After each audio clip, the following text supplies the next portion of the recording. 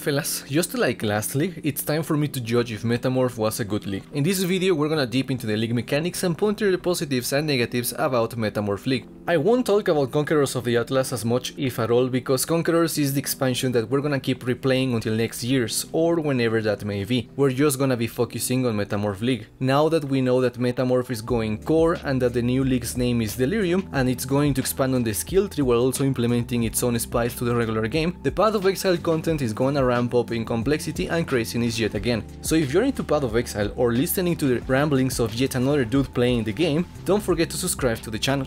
Coming back to the topic at hand, don't take this video as me putting the nail on Metamorph's coffin claiming it did. No, this video is just my take on whether or not it was a good leak. Besides that, I was just waiting on GGG's plan for implementing Metamorph's mechanics into the game to put this video out. Since that happened this week, it's time to analyze the goods and the uglies when it came to Metamorph League. First, we're gonna begin by talking about the league's mechanics. For that we must talk about the NPC Tane Octavius. Tane follows the doctrine of his late master, both teacher and owner, of researching the intrinsic darkness present in all beings, with the goal of finding a way of removing it completely. Because of that, Tane requires you to engage with his tube thing after every zone. In every zone, certain monsters are going to be marked with a green flare or on your map, and those are gonna drop an organ when defeated, including the area's boss who owns the most important organ in that zone. When no more samples are available, or you feel like fighting the Metamorph, Tane will appear with his biggest test tube to help you create a concoction of monsters from the organs collected in that zone, which you will then fight and if you are successful on defeating, earn lots of loot. If the tube meter was filled and the boss organ used, you'd earn a unique organ with random rewards that could be combined with other unique organs in Tane's lab for even more loot, if you could beat them. The rule was that you couldn't take previous zone's organs and mix them with another one's. Organs were tied to a single area and once that area was left behind, so were the organs that were not used. To make the league rewarding, some organs had specific rewards if chosen when creating your metamorph. Combining multiple organs of the same reward type will often maximize profits. Granted, it still required some luck, but it was possible to get rewarded handsomely quite regularly. To balance the piñata's loot, organs also came with properties that boosted the health, damage, speed, accuracy or defenses of the metamorph. Besides the mods, organs also came with unique attacks that boosted the lethality and danger of metamorphs. Of course, the juiciest organs tended to be tied to the hardest bosses, difficulty and reward was balanced accordingly, though some will argue that fighting metamorphs in Tane's lab was infinitely easier than regular mapping, since the lab doesn't have area modifiers unlike maps, where harder map mods ramp the encounter's difficulty considerably. Besides that, Metamorph introduced yet another currency type in the form of catalysts. Catalysts applied quality on amulets, rings and belts and came in different flavors. These flavors augmented the potency of the related mods. Just by looking at what they did, you probably know which ones were sought after the most. As they are quality currency, they are tied to the same rules as regular quality currency, in the sense that a normal item requires 4 catalysts to achieve 20% quality, a magic item requires 10, and a rare slash unique requires 20. Catalyst quality can also be consumed when applying certain currency to items, improving the odds of receiving mods related to the quality type. This means that when you get a mod related to the quality type, you had to reply the desired quality on the item to improve the stats of the specific mods. Besides catalysts, Metamorph also introduced 4 new unique items, though if I'm being honest, I never saw one drop.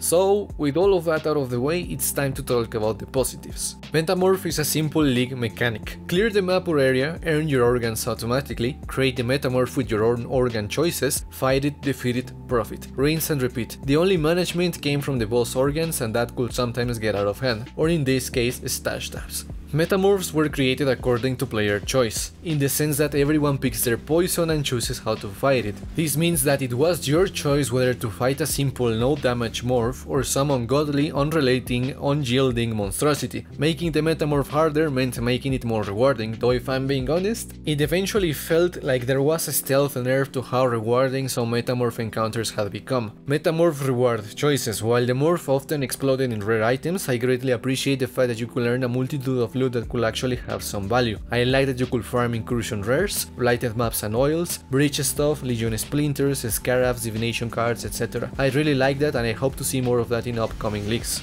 The implementation of organ sucking was a godsend. When the league released, there was a sudden realization that the cases on Carpal Tunnel were about to skyrocket, because you had to collect every single goddamn organ dropped by monsters. Those were extra clicks that to be honest got old pretty quickly. Luckily GGG dropped a patch soon afterwards which made organs get sucked instantly and that made the league mechanic a hell of a lot more enjoyable. The catalysts are a great addition to the game and for those who like min-maxing the freak out of their characters there is no reason not to invest into using them especially considering that they improve the odds of receiving useful mods when Exalt slamming your items, and these slams also affected Conqueror Exalts which is actually pretty cool. The challenges were pretty accessible. This time around the challenges are easier, there is no denying that, and I personally think that's a great thing because their accessibility and reduced difficulty allows for more people to acquire the free MTX stuff. Sure, not all the MTX stuff from challenges looks amazing, but it's still a reward that motivates people to keep playing. Hopefully we see this level of accessibility on challenges going forward. Now that the positive stuff is over, we can talk about the ugly stuff. Visibility. This is one of the biggest negatives because it got pretty bad at one point and to be honest I didn't pay attention to whether or not it got fixed. I just focused on taking out morphs as fast as I could. The black goo on the ground, while getting thrown black stuff at you, while also dodging black monsters and dark colored damage over time effects, or other ground effects, while also getting chased by the dark colored roided up boss amalgamation got a bit frustrating here and there. While you can argue that everyone picks their poison and it's your fault for allowing the metamorph to become a bucket of paint, dropping black paint everywhere, it still doesn't remove the fact that it felt quite cheap to die to stuff that it's not clearly shown on the screen. This is a personal one, but holy crap, Nemesis rares on Metamorph encounters are a big fat no, especially getting allies cannot die. While there's a crap ton of Sculpey Clay monsters and the Metamorph around is surely a nice way of lower the life expectancy of your preferred platform components. It isn't funny to find an Immortality Shrine and forget what good framerate looks like, and it isn't funny to fight a decently challenging monster while it spawns monsters that apply that same experience during the fight. Metamorph rewards often meant a billion rares alongside your loot. The topic of rare items being worthless is something that is discussed often in the Path of Exile community, and Metamorph encounters were filled with rare drops to the point where I often found myself resetting Tane's Lab because I couldn't be asked to pick up and vendor every single rare or else I would accidentally click on one while fighting a Metamorph there and that meant getting in trouble. While you can argue that this is fixed by installing a more strict filter, it doesn't stop the fact that rare items were abundant and not everyone has the patience to check one by one to see if they're useful or worth something. Metamorph difficulty often meant choosing one of three routes, having a tanky character that could take it slow and live throughout the encounter, having a character that nuked the Metamorph as soon as it spawned, or ignoring the encounter completely. This is mostly an individual thing as the experience varies for everyone because you build the encounter on your own accord. Luckily most if not all of my characters showcased on the channel were able to beat morphs comfortably, but I did come across situations where the former three choices were the only choices. I agree on these difficult situations of red map tiers and beyond, in the initial maps though, I don't know about that one. However, that's it for the negatives, at least from my point of view and experience. So now that we know that Metamorph is going core, we know that it's getting scarabs that guarantee the encounter and greatly improve the reward payout. But was Metamorph a good league?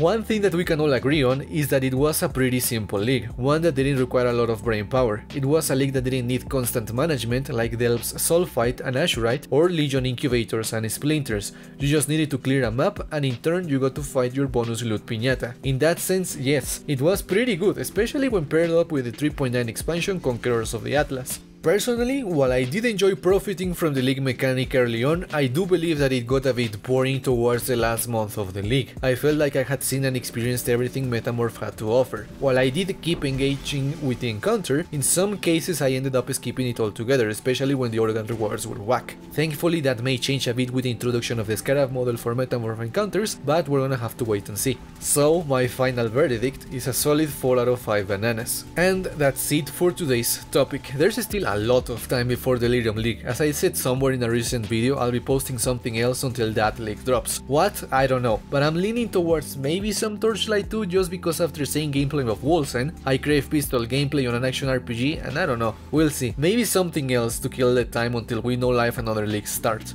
So with that said, I wanna thank you guys for watching the video, and if you made it this far and you're not subscribed yet, hey, I'm just saying it's free and you should totally do it. Anyways, I hope you enjoyed today's video, and hopefully I'll be able to do another one of these for next league as well. So yeah, thank you so much for watching and I hope to catch you on the next one. Peace out.